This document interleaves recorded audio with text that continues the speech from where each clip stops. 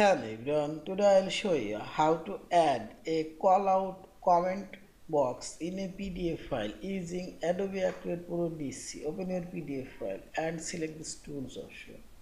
Now select comment option and click on this option and here you will find this callout text box option.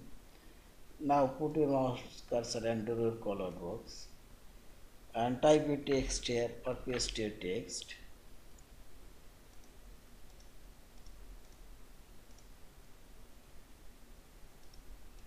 now you can edit this text and click right button also here you can type your text and properties. Here you can change color text color. See this?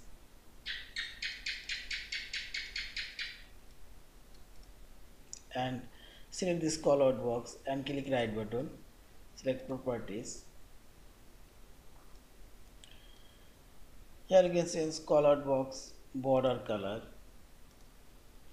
border thickness and fill color. So this fill color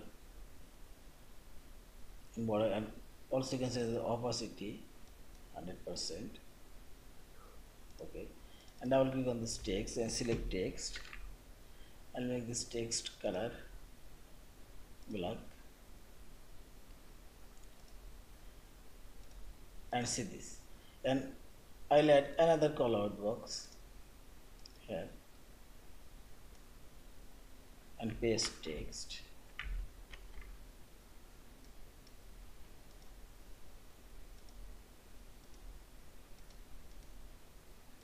Again, this hand option and select this callout box. I'll move this box and click right button and properties. Same way you can see in this properties option. Yeah this is. Also you can delete here this call out. Here you can delete. This is. You can edit this text here. Here you can text this edit. Yeah this is Thank you for watching. Please subscribe, like, share and comments.